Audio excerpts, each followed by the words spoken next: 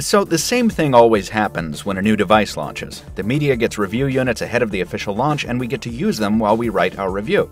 Then the press embargo lifts, every outlet posts their reviews and videos at the same time, writers and commenters go back and forth, and it's a huge frenzy of opinion and buzz for about a day, and then it all goes away.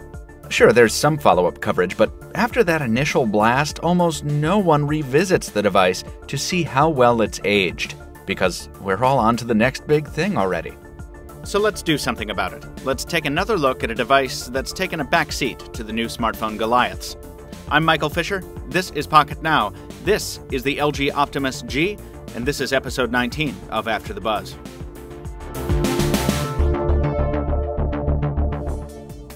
In our October review of the LG Optimus G for AT&T, we called the device an excellent, modern Android smartphone with the proper balance of aesthetics, performance, and utility.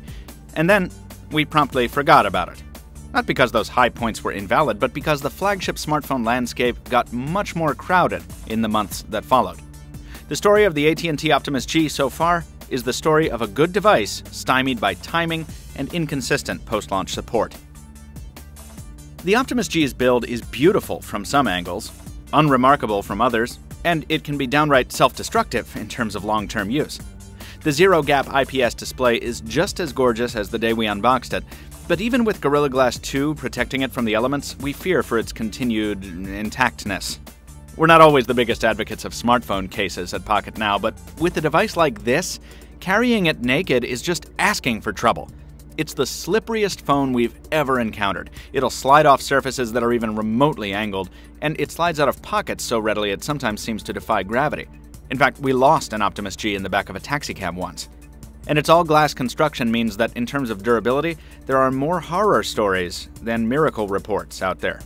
The Optimus G isn't the only phone to suffer these issues, but it is a hazard nonetheless.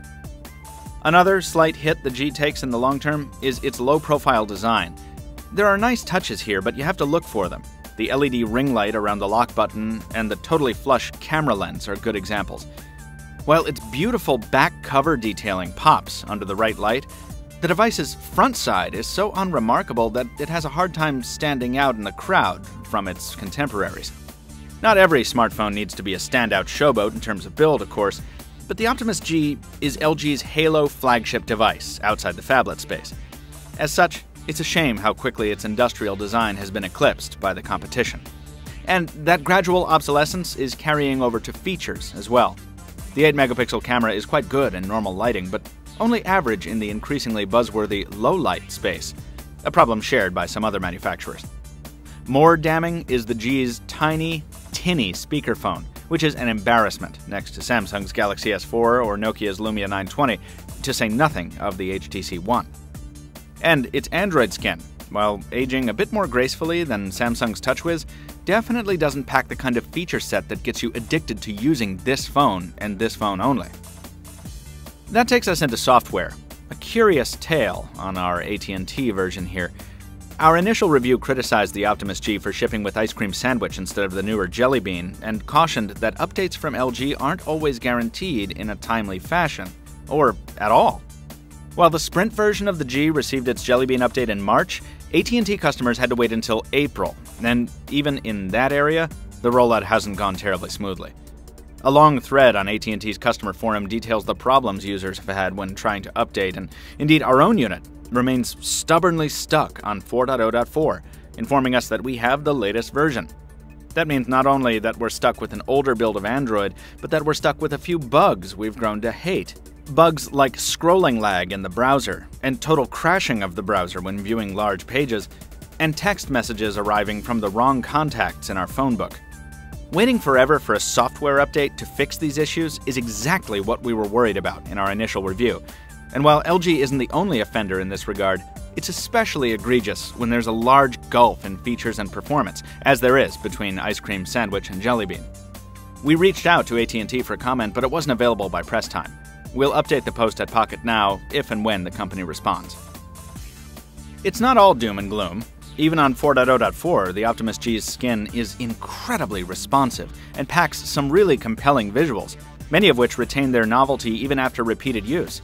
And even if you get tired of the unlock animations or home screen transitions, there are many stock options to choose from. And then there are the really nice touches like the pinch to zoom in messaging and the video player, along with the less useful but sort of flashy Q slide multitasking. In these regards, LG deserves credit. The Optimus UI continues to impress. Those pluses mean that if you already own an Optimus G, you should still feel pretty good about your purchase, especially if you snagged the Jelly Bean update. Even at 4.0.4, it's still a solid Android smartphone with some nice special features. But if you haven't bought one yet, you'll probably want to give this one a pass. If you need to buy right now, other manufacturers' flagships are just more compelling with more modern chipsets and features. And if you're willing to wait, LG's rumored Optimus G2 is starting to look very impressive indeed, if the leaks are to be believed. So while the Optimus G has aged fairly gracefully overall, it's probably not the Android smartphone to invest in right now. Rather, it's an encouraging reminder to keep an eye on LG's next generation, which will hopefully bring enough pizzazz to retain its novelty a little longer than the previous one. If you'd like to read our full review of the LG Optimus G or check out the other 17 episodes of After the Buzz, visit us at pocketnow.com. But before you go, make sure to follow us on our social networks. Like this video if you did enjoy it. Don't forget to subscribe to our channel here on YouTube so you don't miss future videos, and leave a comment below if you have something to say. Until next time, thank you very much for watching, and we'll see you again soon. Got shine. Can I get a bird, please? Oh, yeah, there we go. Take that shine right off there. Thank you, Yellowbird. And this is episode 18 of After the Buzz, featuring the LG Optimus G. Wake your ass up.